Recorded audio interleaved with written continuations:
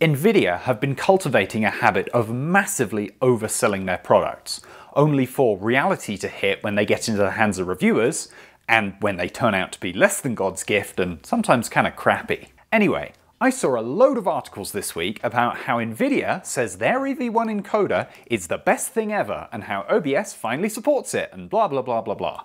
And the articles in question generally amount to a few screenshots of Fortnite with Nvidia green squares on them. Hey, I have a 4080 and an Intel Arc and a rudimentary understanding of video codecs.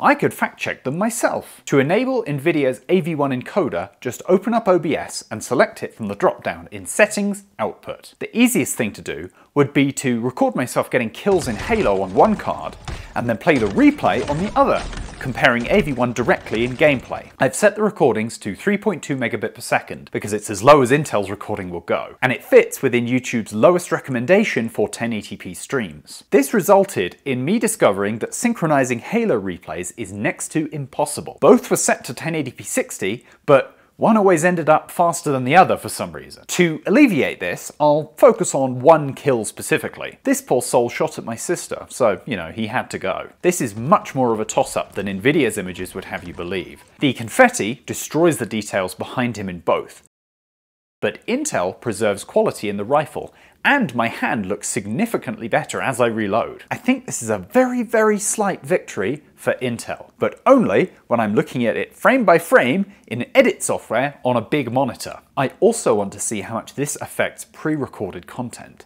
since dropping bit rates while keeping top quality is of great concern to people like me with Plex libraries and a limited hard drive budget. Because I'm such a stickler for image quality, my library is made up entirely of Blu-rays that I ripped myself. For this test, I re-ripped the video files off this copy of How to Train Your Dragon 3, the 1080p, not the 4K disc.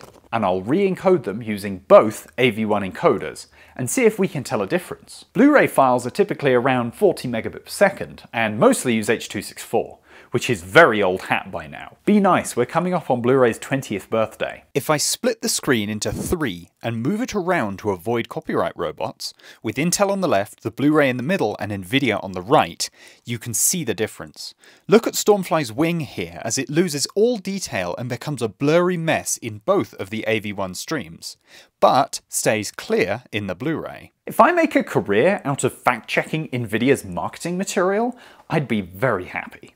This is the third time I've done a video like this, and once again, Nvidia's claimed slam dunk turns out to be a whimper in practice. Why didn't I include an AMD GPU for a three-way AV1 fight? Well, have you seen the prices on the 7900 XT?